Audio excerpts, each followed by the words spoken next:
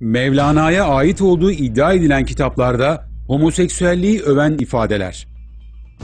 Önemli açıklama.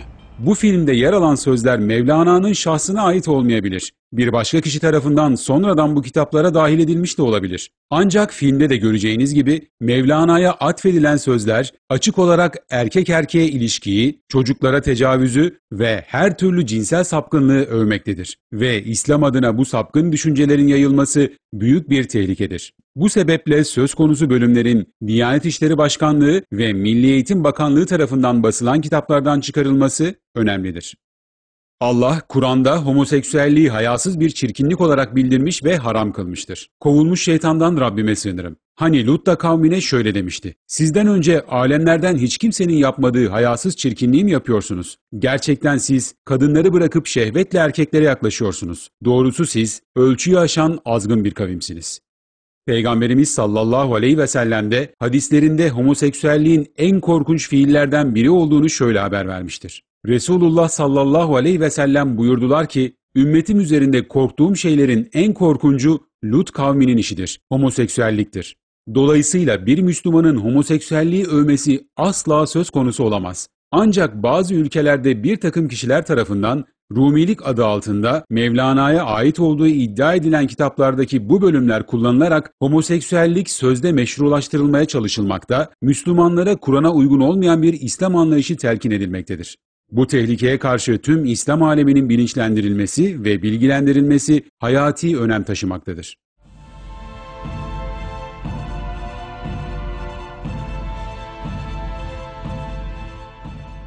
İri adamın erkek çocuğuna tecavüzünün övülerek anlatılması. Çocuk tecavüzlerinin ve homoseksüelliğin bu kadar yaygınlaşmasında bu ve benzeri hikayelerin sanki normalmiş gibi anlatılmasının katkısı vardır. Bir iri adam bir oğlanı ele geçirdi. Bu adam bana kasteder diye çocuğun yüzü sarardı. Adam dedi ki, güzelim, emin ol, sen benim üstüme bineceksin. Ben korkunç görünsem de aldırış etme. Bil ki ben bir deveye biner gibi bin hem homoseksüellik hem de küçük çocuğa tecavüz sanki sıradan bir olaymış gibi anlatılmaktadır. Allah'ın kesin olarak haram kıldığı bir sapkınlığın dini eser olarak bilinen bir kitapta böyle övülür şekilde anlatılması ibret verici bir durumdur. İslam'a göre homoseksüellik, Kur'an'da ve hadislerde iğrenç bir çirkinlik olarak bildirilen haram olan bir davranıştır. Allah ayette şöyle buyurmuştur. Kovulmuş şeytandan Rabbime sığınırım. Siz insanlardan cinsel arzuyla erkeklere mi gidiyorsunuz? Rabbinizin sizler için yaratmış bulunduğu kadınlarınızı bırakıyorsunuz. Hayır, siz sınırı çiğneyen bir kavimsiniz. Dedi ki, gerçekten ben sizin bu yaptığınıza öfkeyle karşı olanlardanım.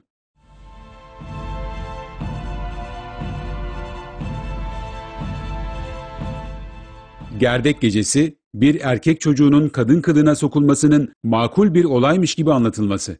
Ondan sonra Gerdek Gecesi, bir genci kadın gibi kınaladılar. Eline, bileğine gelin gibi kına yaktılar. Köleye tavuk gösterdiler, horoz verdiler. Başını örttüler. O gürbüz gence güzelim gelin elbiseleri giydirdiler. Bir erkek çocuğunun kadın gibi nasıl süslendiği detaylar verilerek anlatılmaktadır. Bu şekilde erkek çocuklarının homoseksüel ilişkilerde kullanılması adeta imrendirilmektedir. Yalnız kalma çağında genç hemen mumu söndürdü. Hintli köle öyle güçlü kuvvetli bir gençle yapayalnız kaldı. Hintlicik bağırıp duruyordu ama tef çalanların gürültülerinden feryadını dışarıdan kimse duymuyordu. Tefin çalınışı, el çırpış, erkeğin kadının naraları kölenin feryadını bastırıyordu. Genç gündüz oluncaya dek o Hintliceizi harap etti. Zavallı köpeğin önündeki un torbasına döndü dini eser olarak bilinen bir kitapta böyle sapkın bir anlatımın yer alması, İslam'ın yerine haramların helal sayıldığı, her türlü sapkınlığın meşru görüldüğü yeni bir din anlayışını yerleştirmeye çalışma imajını vermektedir. Tüm İslam aleminin bu tehlikeye karşı dikkatli olması gerekir. Resulullah sallallahu aleyhi ve sellem buyurdular ki, Lut kavminin iğrenç fiilini, homoseksüelliği işleyen kimse lanetlenmiştir.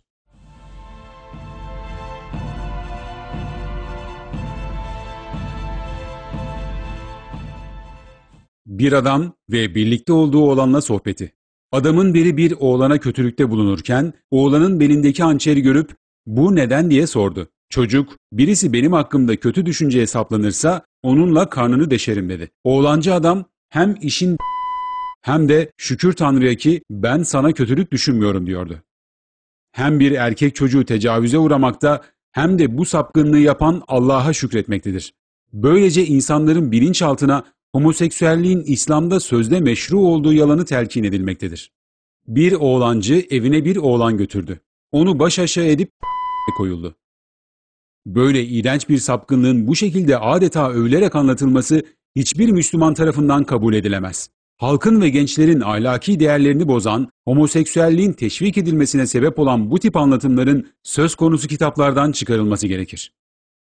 Hz. Peygamber sallallahu aleyhi ve sellem buyurdu ki, Allah erkekle cinsi temas kuran erkeğin yüzüne bakmaz, onu rahmetinden kovar.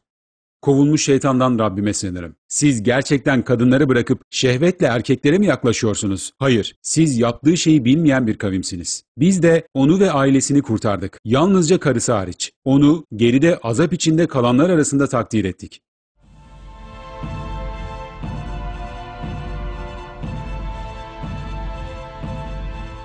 Derviş genç oğlana sarkıntılık ediyor. Bekçinin korkusundan o iki delikanlı o bekar odasında kaldılar, orada uyudular. Bekarlardan bir oğlancı gece vakti kalabalığın içinden kalktı. Yavaş yavaş yürüdü. İştahlı bir halde oğlanın yanına gelip kerpiçleri bir tarafa koydu. Çocuğa elini uzatınca çocuk yerinden sıçradı. Bu anlatımlar homoseksüelliği ve tecavüzü sanki günlük hayatın bir parçasıymış gibi göstermektedir. Allah'ın haram kıldığı bir zulmün İslam'ı anlattığı iddia edilen bir kitapta böyle övülmesi büyük tehlikedir. Bir avuç bulgur aşıyla geçinmeye çalışan derviş, gözlerinden erkeğin akarak, elleriyle larını sıkarak bana yüz tuttu. Namuslu oldun mu gizli gizli bakar, leriyle oynarlar. Sonuçta ne kadınlardan kurtulabiliyorum ne erkeklerden. Ne yapayım bilmem. Ne bunlardanım ben ne onlardan. İslami gibi görünen bir kitapta küçük erkek çocuklarına tecavüz etmenin normalmiş gibi anlatılması ciddi bir fitnedir. Küçük oğlan çocuklarını gören insanların gözünün dönmesini makulmüş gibi göstermeye çalışan böyle sapkın tarifler hem toplumun hızla dejenere olmasına hem de insanların İslam'dan uzaklaşmasına sebep olacaktır. İslam'a göre homoseksüellik, Kur'an'da ve hadislerde iğrenç bir çirkinlik olarak bildirilen haram olan bir davranıştır. Allah ayette şöyle buyurmuştur. Kovulmuş şeytandan Rabbime sığınırım. Hani Lut da kavmine şöyle demişti. Sizden önce alemlerden hiç kimsenin yapmadığı hayasız çirkinliği mi yapıyorsunuz? Gerçekten siz kadınları bırakıp şehvetle erkeklere yaklaşıyorsunuz. Doğrusu siz ölçüyü aşan azgın bir kavimsiniz.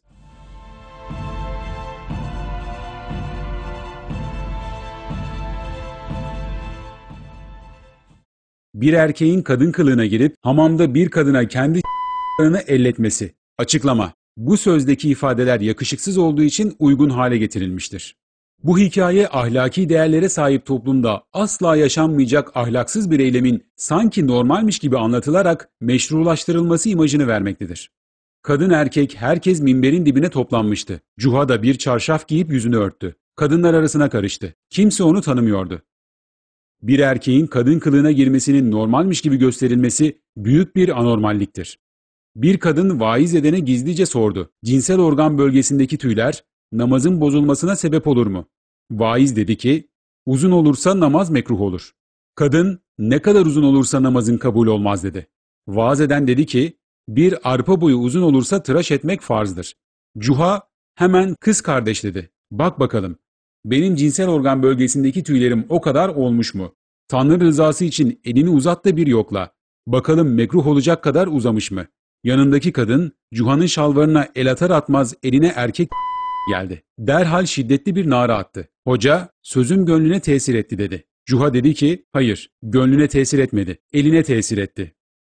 Bir erkek kadın kılığına girerek kadınlar arasında karışmakta ve kadınları taciz etmektedir. Böyle gayri ahlaki bir durumun olağan bir olay gibi anlatılması tasvip edilemez.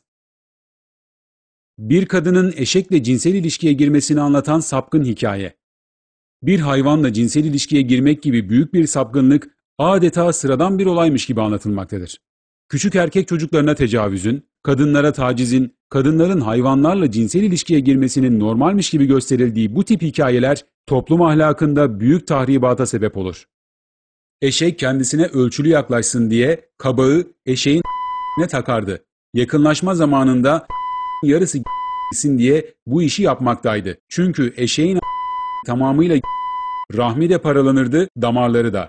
Eşek erkekler kadınlara nasıl yakınlaşırsa aynen onun gibi halayığa yakınlaşmış, işini deydi. Kadın hasede düştü. Anlatılan hikayede sapkınlık o derece büyüktür ki kadınlar arasında eşekle cinsel ilişkiye girme konusunda kıskançlık yaşanmaktadır. Bu derece gayri ahlaki bir hikayenin normalmiş gibi anlatılmasındaki anormalliği tüm Müslümanların görmesi gerekir. Eşeği çeke çeke ahırın ortasına getirdi. O erkek eşeğin altına yattı. Eşek ayağını kaldırıp daldırdı. Eşeğin kadının içine bir ateştir düştü. Alışmış eşek kadına abandı. Sini ta larına kadar sokar sokmaz kadın da geberdi. Eşeğin hızından ciğeri parçalandı. Damarları koptu, birbirinden ayrıldı. Soluk bile alamadan derhal can verdi. Tarihte hiçbir İslam alimi dini anlatırken böyle bir üslup kullanmamış, bu tarz anormal hikayeler anlatmamışlardır. Bu bölümler muhtemelen Mevlana dışında biri tarafından söz konusu kitaplara sonradan eklenmiştir. İslam'ı tahrif etmek, Müslümanları dejenere etmek için bir oyun oynandığı görülmektedir. Bu sebeple İslam'a uygun olmayan bu sapkın anlatımlar bir an önce kitaplardan çıkarılmalı ve bu çirkin ahlakın yayılmasına ortak olunmamalıdır.